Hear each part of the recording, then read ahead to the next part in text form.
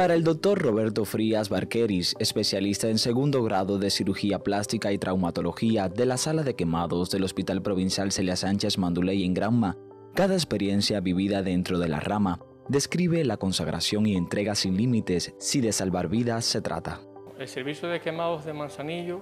cuenta con más de 40 años de experiencia. Hemos tenido vivencias, desgraciadamente, con eh, experiencias de accidentes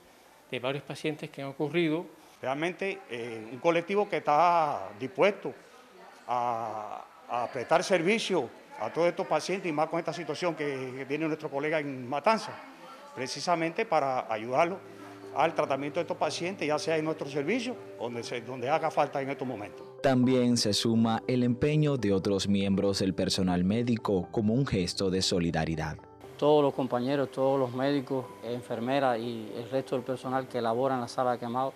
nuestros más sentimientos de apoyo, de solidaridad con todo el pueblo de Matanza, con todos los familiares de aquellas personas que han, eh, lamentablemente, han sufrido eh, algún tipo de lesión por quemadura,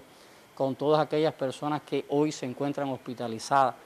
en los hospitales de La Habana y de Matanza, que están siendo atendidos por especialistas igual que nosotros. Y estamos convencidos y seguros que hoy tienen la mejor atención con todos nuestros colegas que están trabajando en el Hospital de La Habana y el Hospital de Matanza. Estamos solidarizados con ellos, quisiéramos estar al lado de nuestros colegas apoyándolos, brindando nuestra experiencia, en lo que podamos hacer, sepa el pueblo cubano, sepa el pueblo manzanillero y sepa el pueblo matancero que el colectivo del Servicio de Quemado de Manzanillo está dispuesto a sumarse a ese gran eh, ejército de batas blancas y apoyarlo en todo lo que sea posible. Desde Granma, Daniel Velázquez Oliva, Sistema Informativo de la Televisión Cubana.